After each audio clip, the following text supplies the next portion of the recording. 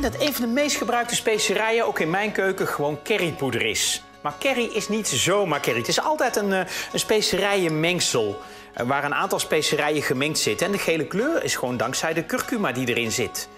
Ehm, het woord curry is afgeleid van het Tamil-woord kari, wat saus betekent. Veel gebruikt in de Indiaanse keuken, in Maleisië, maar toch ook wel in Engeland en in de Nederlandse keuken. En natuurlijk ook in de Surinaamse.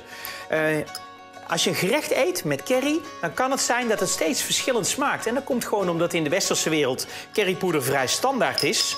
Maar vooral in de Indiaanse keuken is het vaak een familiegeheim. Wat door wordt gegeven van vader op zoon of van moeder op dochter. En daarom kan curry overal steeds weer verschillend zijn.